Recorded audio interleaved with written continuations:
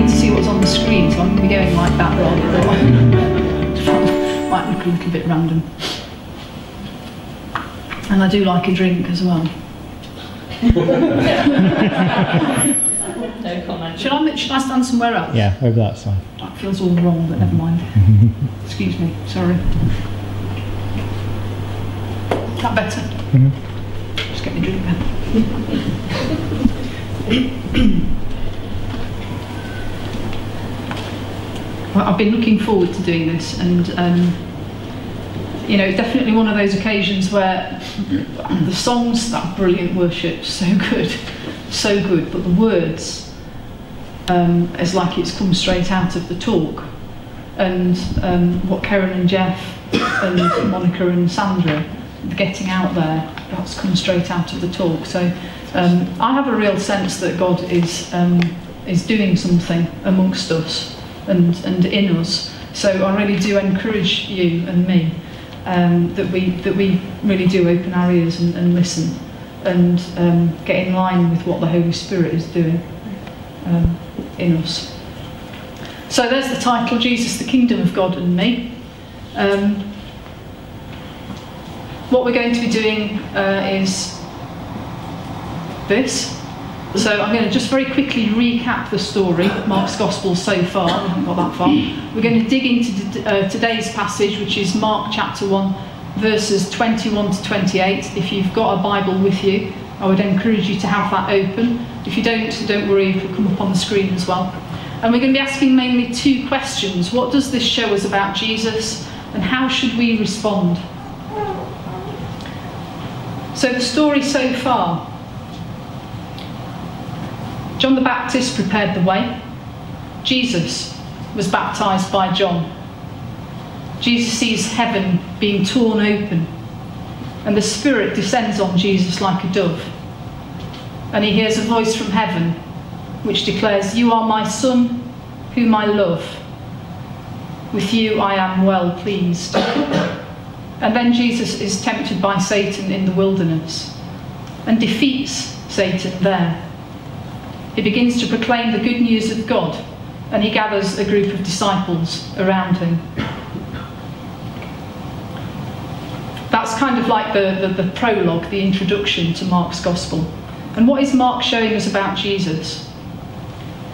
Well, if we actually take a, a step further back into the Old Testament, there's a verse in there which um, just blew my mind actually. There's a cry to God, a cry of desperation and of longing. And it's in Isaiah. And it says, Oh, that you would rend the heavens and come down. And in the baptism account, we see the heavens torn open and the Spirit descending on Jesus. We have there a fulfillment of that cry that you would rend the heavens and come down and save us. In this opening prologue of Mark's Gospel, then, Mark is showing us that there has been a new activity of God. Something new is happening. God has come down in the person of Jesus to save his people. The cry has been heard. God has come down in Jesus to save his people. And this is not just a historical event, is it? God is still here. God is present with us now, today, by his Spirit to save his people, which is why it's so important that we get out onto the streets and go to places to bring this message. Mark is also in these passages uh, giving us the heads up on Jesus before we dive into the rest of the gospel. He's letting us know we know who Jesus is, we know that Jesus is the Son of God. We know that Jesus has divine authority given by God. And in the passage that we're looking at today, we see that authority demonstrated powerfully through Jesus' teaching and his power over evil spirits.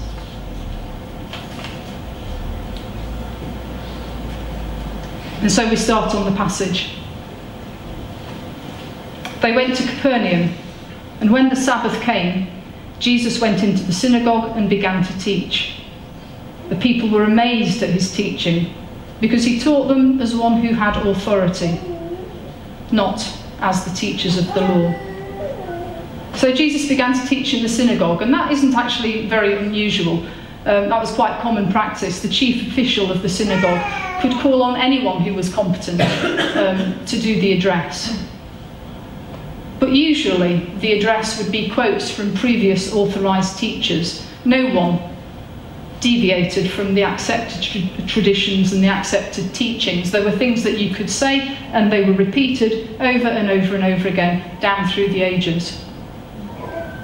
So when Jesus went to teach, what was it that he was bringing? What did he teach that caused such amazement among the people? Well, if we little, have a little scootle back into um, the little previous bit, Mark uh, chapter 1, verse 14 and 15. Sorry, not verse 14, verse 15. Oh no, it is verse 14. Sorry. 14 and 15. That gives us a clue as to what Jesus was teaching. Jesus went into Galilee, it says, proclaiming the good news of God. The time has come, he said. The kingdom of God is near. Repent and believe the good news. So that's what Jesus taught. Jesus announced the good news of God. What is that good news? It's this the time has come. The kingdom of God is near The kingdom of God is not a physical place, it's not like the United Kingdom. It's actually the rule or reign of God. The Old Testament looked forward to a day when the reign of God would come and be seen and acknowledged by the whole world. There would be no more disobedience. Salvation would come to the earth. Zechariah 14 and verse 9 says, the Lord will be king over the whole earth. On that day, there will be one Lord, and his name the only name. The time that the Old Testament was looking forward to, the breaking in of God's reign, was to be a time of salvation and of judgment. It was a time when God would come to restore and to save. And Jesus is saying the time is now. The time has come. That time has come. It's arrived. It's here. They'd been waiting for centuries. And this day that they were looking forward to, that Zechariah speaks of, was always at some point in the distant future. Is it ever going to come? Oh, that you would rend the heavens and come down, but you haven't come yet. Jesus says it's now, it's here. Imagine if you've been engaged male or female, for years and years and years and years. You'd been in a very long engagement, very long, and you were desperate to get married and you wanted to get married. Why can't we get married? And you're engaged and you're engaged and you're engaged, and then your fiance or fiance arrives at the front door one day and says, We're doing it now. It's now. Here's the vicar. We're doing it now. The day has come you're getting that sense of the, the longing, the expectation, the hoping. And then that day arrives, and Jesus says that day has come. Now, Mark, when he writes the gospel account of Jesus, he wants to show us that although the final coming of the kingdom lies in the future, when we get the new heavens and the new earth, yeah, it has drawn near now in the person of Jesus himself. How do we know this for sure? Well, look at the signs. Jesus is the one with whom God is well pleased. Jesus is the one who has been given the Spirit of God. And Jesus is the one who has done battle with Satan and has defeated him.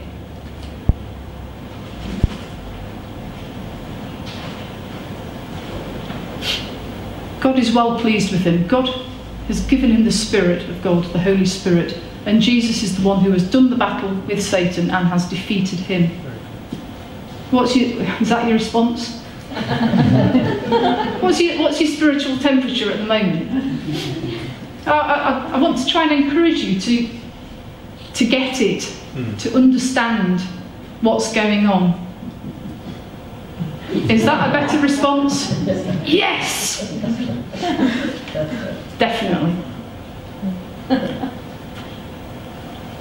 That's going to have to stay up there for a moment because I've got something else. Mark will shortly show us Jesus' ministry to the man with an evil spirit in the synagogue, demonstrating again with authority the way in which God's rule has come. Because God's rule doesn't come just with words, does it? It comes with power. So God's reign is spelt out in Jesus, through Jesus. Jesus is, if you like, the embodiment of the new age of the reign of God. The new rule and reign of God broke into the world in Jesus. But it is still growing, it's still breaking in. So, look, God is, God's kingdom is still breaking in today, now. Okay? Maybe after the service. You have a need. We want to pray that God will do whatever needs doing because that's what He does. Okay? So, the kingdom of God breaking in. No wonder the people were amazed at the hmm. teaching. They had never heard anything like it before. No one taught with an authority like Jesus. Loads of other people taught, but no one taught with an authority like Jesus because Jesus' authority came from his Father, from God. Jesus' authority is God's authority.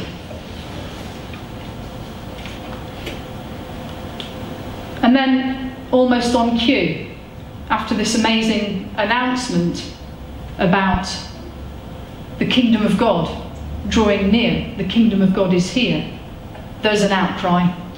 What do you want with us, Jesus of Nazareth? Have you come to destroy us? I know who you are.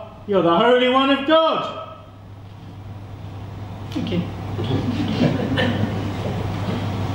Be quiet, said Jesus sternly. Come out of him. The evil spirit shook the man violently and came out of him with a shriek. You may wonder why I've put that picture up. That's as Jesus calming the storm. Well, it's kind of a similar thing because Jesus, if you remember, rebuked the wind and told it to be quiet in the same way that he told the man with the evil spirit, or told the evil spirit, not the man, told the evil spirit to be quiet. The storm calmed, the evil spirit left. Jesus has authority over evil spirits. Jesus has authority over the supernatural realm. So Jesus has just announced the breaking in of God's rule. The evil spirit within the man felt threatened. Well, it would, wouldn't it? It knew its days were numbered. It knew, before anybody else in Mark's account truly does as well, though, it knew who Jesus is. It knew that Jesus is the Holy One of God. Didn't want to submit to Jesus, but it knew. And so it wants to know why are you interfering with us, Jesus? Why can't you just leave us alone and let us get on with things the way that they've always been? Such is the power, sorry, such is the person of Jesus that his mere presence throws the forces of evil into a panic. Such is the person of Jesus that his mere presence in a room or on a street throws the forces of evil into a panic. And so immediately, as we've just read, Jesus rebukes the evil spirit, be quiet, and commands it to come out. Now, in the ancient world, people did cast out evil spirits. It, that in itself wasn't an unusual thing. It was the manner in which it was done, it was the authority with which it was done, it was the lack of a song and dance about it. People used to try and cast out evil spirits by magic formulas, incantations, rites. Jesus does it with a word of command.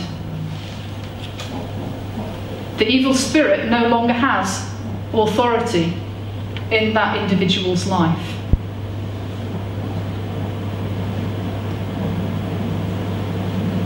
I know of somebody who struggled for many years with a particular form of addiction and was in a church service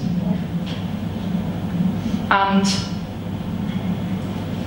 I'm not sure if they decided that the time had come and they wanted to be rid of that addiction or whether the evil spirit was manifesting in some way. But that individual was prayed for, and from that point on, which was uh, five, six, seven years ago, has not had, not even, not even a hint, not even close, nothing. That addiction gone, power broken, authority of that evil spirit of addiction in that individual's life blown out of the water by Jesus, by his authority. That's the kingdom of God, isn't it? Breaking in. We shouldn't be surprised if our meetings are places where the forces of evil manifest themselves but are dealt with efficiently hmm. and effectively, calmly. No song and dance. But guys, we shouldn't be surprised if that happens. We should really be expecting it to happen. And so the people say again, that, I mean, their heads are being completely. What is this? A new teaching, and with authority. He even gives orders to evil spirits, and they obey him. Jesus' teaching and the exorcism, they both result in amazement and wonder at Jesus' authority. This expelling of the evil spirit is a confirmation of Jesus' authority. He has authority over the supernatural world. When we're going through Mark's gospel, we'll see that he has authority over nature, he has authority over sickness. Hallelujah, he has authority over death.